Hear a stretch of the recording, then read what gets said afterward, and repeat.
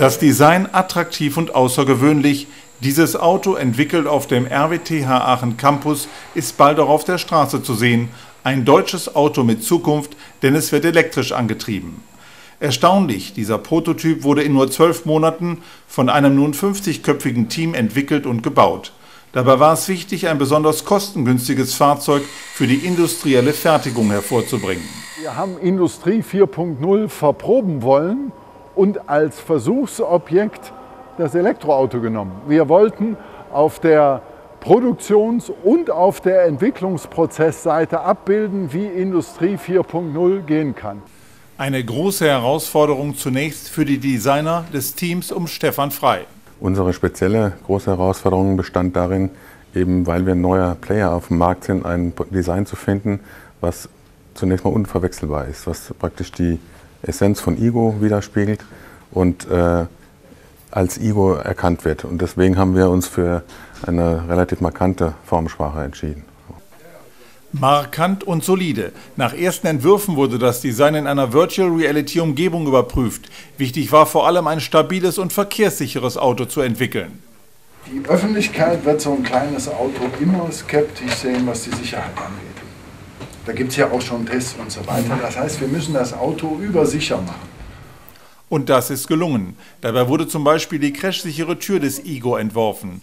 Sobald das 3D-Modell im Computer fertig gerechnet war, wurde die Tür in der Demonstrationsfabrik gebaut und mit den anderen Teilen des Chassis zusammengeschweißt. Dabei muss das Rad aber nicht immer neu erfunden werden.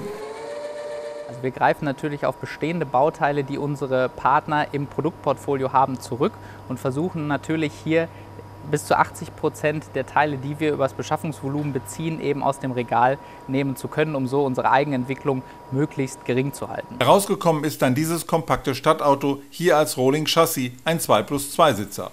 Ob die erprobten Einzelbauteile auch im Verbund harmonieren, haben wir auf unserer Teststrecke überprüft. Durch erste Fahrtests ohne volle Karosserie bekommt man frühzeitig Erkenntnisse für die weiteren Entwicklungsschritte. Alexander Weiß, Testfahrer und Ingenieur, ist begeistert vom Ergebnis. Das Fahrerlebnis war wunderbar. Wir haben kaum Übersteuern, kaum Untersteuern. Das Fahrzeug verhält sich sehr ähm, gutmütig. So, äh, es macht Spaß zu fahren. Und man kann nur staunen, wie schnell dieses Auto gebaut wurde.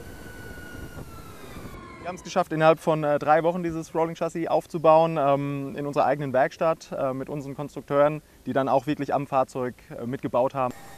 Der Ego Live beschleunigt in nur 4 Sekunden auf 50 km/h und schneller darf man in der Stadt ja sowieso nicht fahren. Diese Kleinwagenklasse ist auf bis zu 90 km/h ausgelegt und schon ab 12.500 Euro zu kaufen.